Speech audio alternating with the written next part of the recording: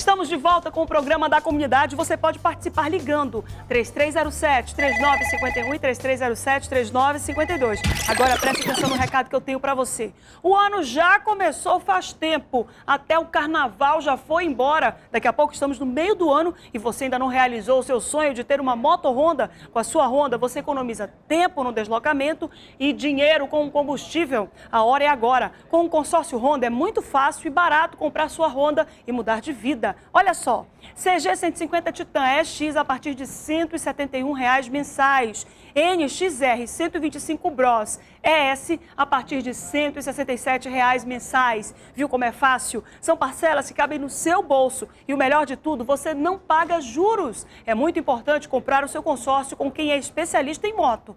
Não arrisque comprando de qualquer um por aí. Invista seu dinheiro com segurança em uma empresa séria e confiável. O consórcio Honda é a maior administradora de consórcios do Brasil e conta com a credibilidade da marca Honda e entrega mais de 35 mil motos todos os meses. A próxima pode ser a sua. Tá aí ainda? Não perca tempo, vá correndo a uma concessionária Honda e faça já o seu consórcio Honda. Amaral, é contigo. Obrigado, Márcia Lasma. São 11 horas e 30 minutos. Nós vamos trazer mais um caso de polícia que tem repercussão aqui na capital amazonense. Nove anos depois, um suspeito de estupro é finalmente preso pela polícia. Quem traz os detalhes, agora que chegamos a 11 horas e 30 minutos na tela do Agora, é Tatiana Sobreira. Olá, Tatiana. Olá, Amaral. Olá, Márcia. Olá, telespectador do programa Agora. Sim, Amaral, nós estamos na terceira seccional leste, onde o 30 DIP cumpre o um mandado de busca contra Jefferson Machado da Costa, de 28 anos, que ele é acusado de um estupro a uma mulher na comunidade Santa Inês. Uma jovem aí de 20 anos foi estuprada na data de 2006 e ele preso até em 2010, quando foi cumprir regime semiaberto, depois de visitar a família no Natal, está foragido Rafael Campos, titulado 30 DIP, vai conversar conosco. Delegado, como foi que a polícia fez para chegar até o Jefferson? Bem, ele estava foragido desde 2010, com mandado de, de prisão expedido em 2011. E nós, do 30 DIP, juntamente com a seccional, temos levantado todos os mandados de prisão em aberto que nós temos nessa área, específico do Jorge Teixeira. E tomamos conhecimento que ele estaria morando, teria retornado ao bairro, estaria morando na rua Algodão Roxo, próprio Jorge Teixeira e realizamos diligências, fomos até o local, a equipe de investigadores caiu em campo na procura dele e quando chegou na, na, casa em que ele estaria morando, foram informados que ele tinha acabado de sair de casa e conseguiram localizá-lo na Avenida Mir, em, em, via pública. Isso aí ele já estava agindo como uma pessoa normal há cinco anos, né? Sim, ele disse que esqueceu de retornar ao compage, teve esse lapso de memória, esqueceu completamente, não voltou para a cadeia e, segundo ele, vinha vivendo como um cidadão normal. É, Amaral, e olha, um detalhe, viu, Márcia? A gente sabe como é que eles são conhecidos dentro da penitenciária, que é Jack, né? E o Jack, a gente conversou com um dos Jacks, né? Que são os estupradores dentro da cadeia. A gente tentou conversar com ele e ele confirma que ele estuprou a menina. Vamos ouvir um trecho. Jefferson, o caso aconteceu em 2006. Foi o teu primeiro estupro? Foi, senhora. Você estava alcoolizado, não é isso? Estava, senhora. Segundo informações da polícia, você convidou a jovem para manter relações sexuais e ela não aceitou e você a forçou, é isso? Foi, sim. E por que, que você fugiu da cadeia aí? Ficou com medo de voltar? É, exatamente, né? Que foi uma temporada que eu peguei, assim, para passar uns, um final de semana com a minha família. Aí passou do horário de voltar. Uma pena, né? Cadeia agora, doutor. O que será feito de Jefferson? Ele vai, ele vai ser submetido a um exame de corpo de delito e depois será encaminhado à cadeia pública, onde estará à disposição da justiça. A imprensa ele afirma, mas para a polícia ele está meio corpo mole, né? Então, na época da prisão dele, ele chegou a ser preso em flagrante, logo após o crime, e naquela oportunidade ele confessou o crime. Ontem, quando a gente prendeu ele, ele disse que estava bêbado e que não se lembra do que aconteceu. É, aparentemente ele tem esse problema de memória, mas já deve ter se recordado do que aconteceu. Agora, o que será feito com ele? Ele vai ser encaminhado ao IML para fazer o exame de corpo de delito e posteriormente vai ser levado até a cadeia pública, onde ficará à disposição da justiça. Doutor Rafael, muito obrigada. Bom trabalho. Muito bem, Amaral e Márcia, eu retorno diretamente com vocês nos estúdios. Obrigado, Tatiana Sobreira. Informações de polícia, a prisão de um homem suspeito de estupro, o Jefferson, né? Está aqui ele na tela, muito frio, muito tranquilo, confessou o crime, disse que forçou a relação sexual com uma pessoa que estava bebendo junto com ele e agora vai retornar à prisão depois de uma desculpa esfarrapada, né? Diz que perdeu o horário. Nas palavras dele, diz que perdeu o horário de voltar para o compás depois de uma liberação de um fim de semana para passar com a família. Perdeu o horário, aí deixou por isso mesmo, não vou mais voltar. Esqueceu, Marcelo Asmar, que memória. Ah, eu acho que ele entrou num, num, num, num buraco negro, no espaço-tempo, e para ele o horário durou quatro anos. Ele, olha, cinco, para ser mais exato, nós estamos em 2015. Ele, ele saiu em 2010. Cinco anos depois, ele alega que perdeu o horário. Que horário? Em que, em que tempo no espaço esse homem estava? Para ficar cinco anos sumido e dizer agora que perdeu o horário. Que horário? Esse relógio dele é um relógio de parede, viu, Amaral? Pois é, o crime foi cometido nove anos atrás. Você percebe que tem intervalos importantíssimos aí do trabalho de, de de realização aí da, da própria polícia no que diz respeito à prisão dele. Mas ele voltou a morar no mesmo endereço, houve denúncia mais uma vez, ele era considerado foragido, agora vai voltar a cumprir pena exatamente porque esqueceu. Dessa vez ele volta porque esqueceu. São 11 horas e 35 minutos, vamos continuar falando sobre esse tipo de assunto. Ontem o programa agora mostrou para você a denúncia contra um comerciante de Parintins. Ele era suspeito de cometer violência sexual contra uma criança de apenas 10 anos. O caso chamou a atenção da polícia e também da nossa equipe de reportagem que acabou ouvindo todas as partes envolvidas. Para a gente entender melhor esse caso, vamos relembrar na reportagem do Tadeu de Souza e Isiel Pimentel na tela do Agora. Solta aí, diretor. O acusado é este homem, Juan Carlos Tapia, de 59 anos. Ele tem uma pequena loja na zona leste de Parintins. A vítima tem 10 anos. O pai da menina contou como tudo aconteceu. Ela vinha passando do colégio e aí ela chegou em casa já às 6 horas da tarde, o horário dela saía às 5 horas da tarde. Chegou já às 6 horas, eu chamei ela a atenção e ela me participou. Que o peruano, o velho peruano, tinha agarrado ela, né? E tinha metido o dedo nas partes dela, né? Partiu em cima dela, né? E tampou a boca dela e eu fui, peguei uma viatura, fui lá e, e os policiais prenderam ele, né? O comerciante nega a acusação. Mas eu em nenhum momento estrupei essa menina, não toquei. Que, que fala que eu toquei sua parte. Tenho testemunhos que testimoniam que eu não fiz nada com ela. A ex-mulher de Juan Carlos, a peruana Márcia Velasque, foi ouvida ontem na delegacia local e disse que viu o ex-marido molestar uma outra criança. Eu vi uma, uma vez. Então eu estava lá atrás da casa onde que alugávamos. E quando eu entrei, eu, eu vi ela na sala. Aliciando uma criança. Tocando as partes íntimas de uma ninha, de uma criança. A comunidade peruana em Parintins diz que o comerciante Juan Carlos Tapia está sendo vítima de uma armação da ex-esposa, que vive atualmente com o pai da suposta vítima do comerciante.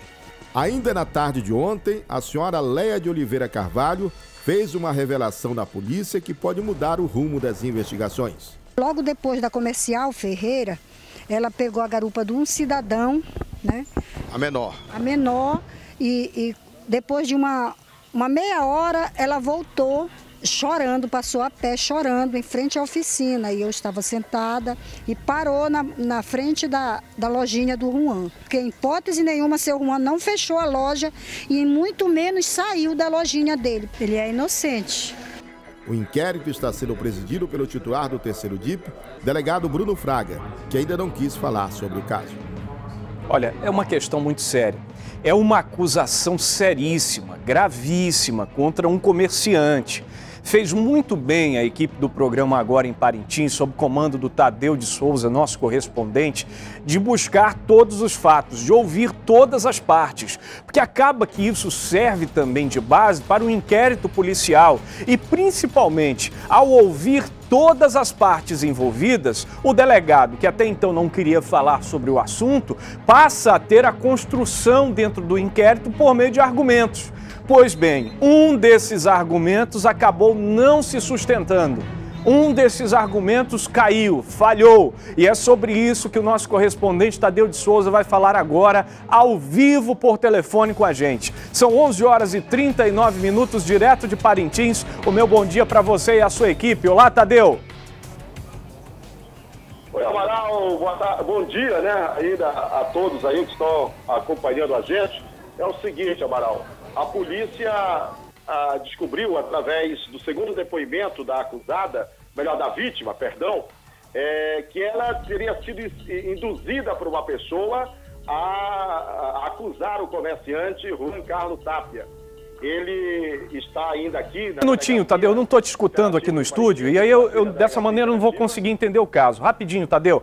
É, Ricardinho, melhora o retorno do Tadeu aqui, por gentileza, que a gente não está conseguindo ouvi-lo aqui no estúdio. Agora sim, Tadeu, por favor, prossiga. Desculpe interrompê-lo, é que o retorno está ruim aqui no estúdio. Sim, Amaral, nós estamos aqui na terceira delegacia interativa de Parintins. O senhor Juan Carlos Tapia, peruano, de 56 anos de idade, ele está ainda é, aqui na carteiragem da terceira delegacia interativa, falta apenas a assinatura de, do, do juiz, né, para que ele possa ser liberado, mas já, já foi descoberta a farsa.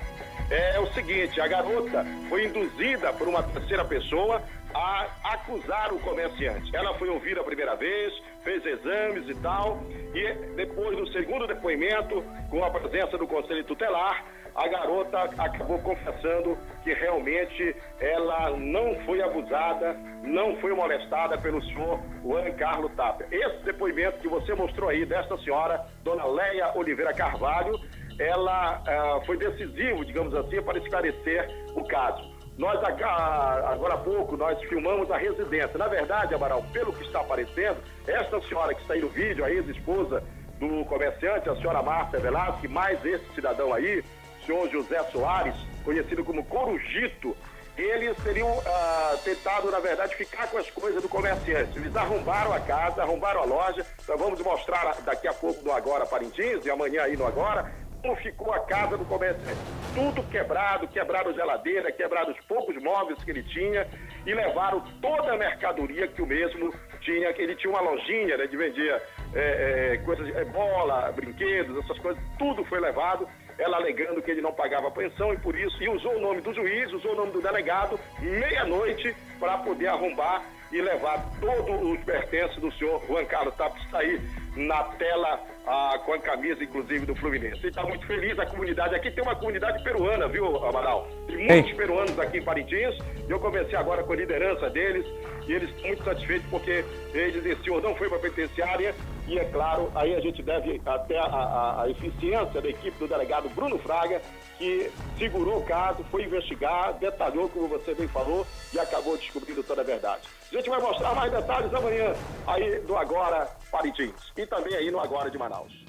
Muito bem, Tadeu. Parabéns à sua equipe por ter ido a fundo neste caso e, e trazer para a gente em primeira mão essas informações importantes. Como falei no início, antes de, de retomar o caso aqui, trata-se de uma acusação muito grave. Portanto, agora nós temos outros acusados, Marcelo Asmar, nós temos outros suspeitos, aqueles que estavam no lado de acusadores, apontando o dedo, dizendo que o empresário é, tratava-se é, de um estuprador, de uma pessoa que molestava menores, que é essa senhora aqui, que é ex-mulher dele, e o próprio pai da criança de apenas 10 anos, os dois agora podem responder criminalmente porque segundo as informações do Tadeu e aquilo que ele vai mostrar daqui a pouco no Agora Parintins, eles entraram na casa do empresário, entraram na casa do comerciante, fizeram uma limpa, levaram tudo, alegando que ele não pagava pensão. Esse não é o meio legal para se cobrar a pensão alimentícia. Amaral, a gente verifica aí pelo menos dois crimes gravíssimos que eles cometaram. Primeiro, o crime de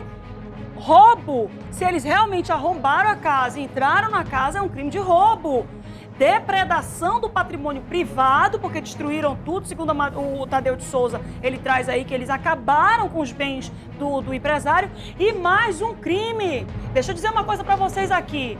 O Poder Judiciário, a Delegacia de Polícia, não está aí para servir de escusa para vinganças de brigas os delegados, junto com os investigadores e os policiais civis e militares, não estão aí para atender a resquício de vingança de ninguém, muito menos de mulher aborrecida por causa de pensão alimentícia. Então você, olha só o que essa mulher fez. Olha o que ela fez. Ela promoveu uma denúncia falsa, fez com que o delegado fizesse um boletim de ocorrência e uma investigação criminal a partir de informações forjadas e promoveu ainda um, um envolvimento do Poder Judiciário, porque para liberar o empresário que está preso, precisa da atuação do juiz. Então veja você, eu preciso avisar isso para você que está aí do outro lado, que acha que chegar lá na delegacia dizendo eu vou me vingar de ti, eu vou te botar na polícia. Aí chega lá na delegacia, forja um boletim de ocorrência, vai responder por denunciação caluniosa. Ah, o que, que é isso aí que a massa está inventando? Estou inventando nada. Quem Massinha, inventou deixa, foi o deixa, legislador. deixa eu aproveitar seu comentário que é muito pertinente para lembrar que tem a figura de uma terceira pessoa e esse é aquele que corrompeu a menor. Esse também a gente não pode esquecer. E ainda vai responder Exatamente. por corrupção de menores. Veja você aí, e ela também, Amaral, porque envolveu também, também corrompeu melhor, a menor. O caboclo que pegou a menor e levou na moto vai responder também. E agora o inquérito policial vai virar o jogo. Vai deixar de investigar o empresário para saber se ele realmente é o autor de um aliciamento ou de um estupro, para investigar uma quadrilha a gente vê aí é a mulher envolvida, esse outro aí que é o pai da menor que também tinha que questionar a situação e o outro aí um trio, um trio de criminosos por causa de uma pensão alimentícia que o juiz da localidade tem, claro, autoridade para poder executar o, o empresário e pegar o valor do dinheiro que cabe à pensão alimentícia. E não promover irresponsavelmente, como a esposa dele fez, a ex-esposa dele fez, toda uma máquina judiciária e policial para fazer uma vingancinha. Ah, faça-me o favor, agora o delegado lá de Parintins vai ter que promover um inquérito policial e ir investigando esse trio criminoso. Porque não fique achando você que não comete crime porque estava devendo pensão. Ninguém tem esse direito de fazer, de roubar bens, de arrombar propriedade privada, de envolver uma menor num esquema aí forjado e mentiroso e achar que vai ficar impune e ileso a isso tudo não, Amaral. Agora, a- os criminosos são esses três aí. E a polícia vai achar a autoria do terceiro. Amaral. A parte boa de tudo isso, Marcela Asmar, e essa eu quero resgatar e fazer questão de resgatar, é que o Tadeu de Souza trouxe uma informação muito importante, que a comunidade peruana em Parintins está ligada no programa da comunidade e eu acredito que a partir de agora mais ainda. Então, Marcela Asmar, te posiciona aí que você vai ter que mandar aquele alô especial para los hermanos que se quedam em Parintins. Los hermanos, besitos, besitos, besitos de corazones. Tá certo, Amaral? Tá É ótimo. assim que Amaral é que é fluente aqui do espanhol, hein, Amaral? Tá ótimo. Besitos em formato de corazones, mm, explosões, explosões, muitas explosões aqui no nosso estúdio. Pra você, Amaral. São 11 horas e 47 minutos, colônia peruana em Parintins, acompanhando o programa da comunidade. Olha, eu fico muito feliz que o caso tenha tido uma conclusão. Porque, olha, é, é muito sério você acusar alguém de estupro. É seríssimo. É, é uma acusação séria. Se esse, se esse é, é, comerciante vai parar numa penitenciária, numa unidade prisional, você não imagina o, o tipo de retaliação que ele pode sofrer, ainda mais sendo inocente. É uma questão séria. Ainda bem que a polícia teve cautela. Aliás, a polícia sempre tem muita cautela quando o caso envolve esse tipo de acusação. Parabéns ao trabalho do delegado de Parintins e a toda a sua equipe. São 11 horas e 47 minutos. O assunto agora é comunidade. Tatiana Sobreira vai trazer informações direto do União da Vitória. Na tela do agora, a denúncia do telespectador. Olá, Tatiana. Olá, Márcia. Olá, telespectador do programa Agora. Muito bem-vindos. Sim, Márcia, nós estamos na zona norte de Manaus, um dos lugares mais antigos da cidade, o conhecido aí Ponte da Bolívia e também o bairro do Tarumã.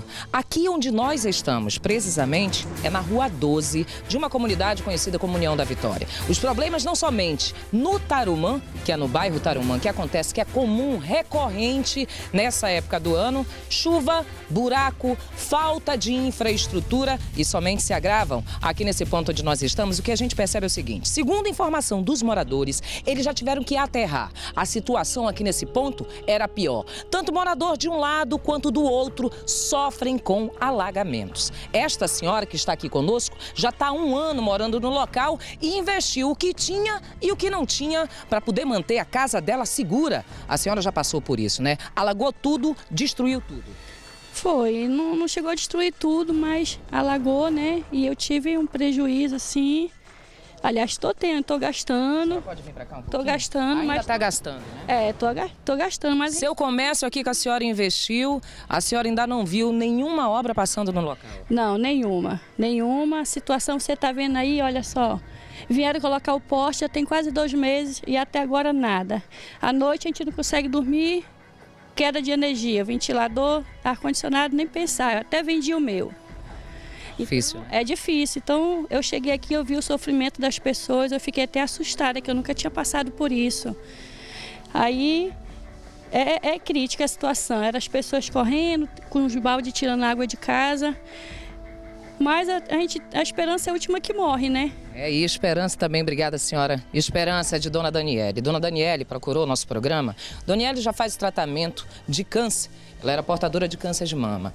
Há três anos é moradora aqui da rua e condoída com a situação da sua própria família e das famílias que estão aqui, a senhora decidiu procurar o programa para ver se consegue resolver, né, Dona Daniele? Isso, porque já estou cansada, né? E assim, que a gente já não tem muito com o que gastar, ainda tem que comprar barro para aterrar a casa, para fazer. A sua casa é essa aqui, né? Essa casa que a senhora disse que teve que aterrar. Isso, ainda estou gastando, né? Ainda estamos gastando ainda. É, assim como vocês podem ver, né? Volta, quando chove, é, se a água da chuva volta, volta pelo bueiro. E, e que fica bem em frente da sua casa? Isso, né? fica bem em frente da minha casa. Tá quebrado porque porque foi o pessoal da Água do Amazonas mesmo que quebraram, levantaram aí, aí deixaram, só que aí caiu e quebrou, tá aí como vocês estão vendo, né? Tanto de um lado quanto do outro, né? E eu vejo que também do outro lado, o bueiro daqui do outro lado também passa pela mesma situação. Isso, pela mesma situação. Aí a gente não sabe também se está entupido o bueiro daqui de baixo também. Daqui já fomos nós também que fizemos, daqui nós nos reunimos também para para fazer, porque quebrou, esse tampão aqui quebrou. Esse tampão onde nós estamos em cima aqui, quebrou. que a senhora diz? Isso. Esse de acimentado aqui, vocês que concretaram aqui o local para poder as pessoas passarem Isso. aqui nesse trecho? Isso, fomos nós mesmos. A própria comunidade que toma ação para poder resolver aqui o problema da Rua 12. Isso, pode ver como as casas assim são altas, né? Mas mesmo assim ainda entra água. Há quantos anos a senhora mora? Três anos e nunca viu nada passar aqui? Não, nada, nada, nada. Só agora que a gente ficou até um pouco alegre, né, devido à energia, porque colocaram o poste, né, mas como a vizinha falou, que até agora nada também de... Mas a conta está chegando? Regularizar. Não, por... Ainda não, não começou a chegar? Não, nós solicitamos, mas até agora nada, porque é perigoso também, né? Dona Daniela, mais ou menos umas 50 famílias moram aqui? Nesse eu, trecho? Eu creio que mais. Mais do que isso, né? É, porque ainda tem mais casa para lá também. Tá certo. Vamos fazer o seguinte. Dona Daniela vai ficar aqui conosco. A gente vai fazer o seguinte, Márcia. Na nossa próxima entrada, a gente vai até o lado de lá para conhecer também o que passam aquelas pessoas que vivem próximo ao Igarapé lá no fundo. Mas você não saia daí, porque você sabe, né? O telefone sempre na tela, chamando a comunidade, a gente chega para tentar solucionar. Retorno contigo diretamente dos estúdios, Márcia. Obrigada, Tatiana Sobreira. Sabe o que me deixa mais revoltada, Amaral? E eu tenho certeza que essa revolta vai ser dividida com quem está em casa é a dona Daniele, em vez de se preocupar, em vez de a única preocupação dela ser o tratamento dela e a cura dela ter que ir para a rua para pleitear qualidade de vida e pleitear infraestrutura. Olha a que ponto que chega a falta de dignidade do ser humano. A Daniela está pleiteando infraestrutura lá no União da Vitória, enquanto que a única preocupação dela, se ela tivesse realmente toda essa condição de infraestrutura já adequada, a preocupação dela devia ser só se tratar. Veja você como é que é a situação dos moradores lá do União da Vitória, Amaral. Não é de hoje que a gente mostra a situação precária de infraestrutura no União da Vitória. A situação é pior em uma área de ocupação irregular que fica na beira do Igarapé da Bolívia, que daqui a pouco a Tatiana Sobreira vai mostrar em detalhes para a gente. É uma situação que precisa mudar porque já faz tempo, olha, mas já faz tempo que a gente bate nessa tecla, dizendo dessa situação, relatando o problema do morador. Morador que está cobrando, cobrando, cobrando, e, e a equipe da Seminf ao meu ver, a equipe da Seminf está mais ou menos igual ao meu amigo Franklin hoje aqui. Sentado, apreciando a paisagem, assistindo o programa da comunidade, tem que levantar, porque daqui a pouco ele vai levantar e vai trabalhar. Eu espero que a mesma coisa aconteça. Já foi, né? Tava fazendo o quê? Essas, essas duas matérias aí. Você vai acompanhar daqui a pouco no Jornal Inteiro. Muito bem, fez até chamada. As imagens são do Marílio, Maurílio Schwarzenegger e aqui quem está nessa outra câmera está chegando agora, se inspirando na minha amiga Nívia Salgado, é a Michae, Micheline da Silva. Que é a Micheline Silva, que a gente vai chamar ela não de Micheline, porque senão parece Marceline, né? Vamos chamar de Misha Silva. Misha Silva. Tá gostando do trabalho? Seja muito bem-vinda. Tá bom? Vamos ficar aqui nessa câmera porque já vem a Márcia Lasmar trazendo uma dica para você que nos acompanha aí do outro lado. Marcinha. Amaral, deixa comigo que eu quero falar com você que está aí do outro lado de casa. Como é que você quer estar daqui a 10 ou 20 anos? Com certeza bonita e jovem, não é mesmo? Então comece agora a tomar Imecap Rejuvenescedor. Imecap Rejuvenescedor é um antissinais revolucionário enriquecido com bionutrientes ativos que retardam o envelhecimento. Imecap Rejuvenescedor é muito eficaz porque age das camadas mais profundas da pele, onde os cremes não alcançam, nutrindo e revitalizando a estrutura da pele e assim transformando a aparência do seu rosto. E Makeup Rejuvenescedor ainda possui colágeno, que aumenta a umidade da pele, prevenindo a formação de rugas, deixando sua pele mais firme e com um aspecto mais jovem. Faça o tempo parar para você com o Imecap Rejuvenescedor. Imecap Rejuvenescedor, um novo conceito de beleza. Comprove. Você encontra Imecap Rejuvenescedor em todas as farmácias do Brasil, mas a preços promocionais na rede Drogarias Angélica ou Farma Bem. Eu disse Drogarias Angélica e Farma Bem. Imecap Rejuvenescedor tem a garantia de qualidade Dive com Farma. Amaral, volto contigo. 11:55 intervalo rapidinho para a senhora que está aí do outro lado ver como é que tá o arroz, checar se o feijão não está queimando e aquela carne assada de panela também. Fique de olho na cozinha. Daqui a pouco a senhora volta para acompanhar mais um bloco do programa agora, o programa da comunidade que tem sempre muito prazer com a sua companhia. 11:56 a gente volta já.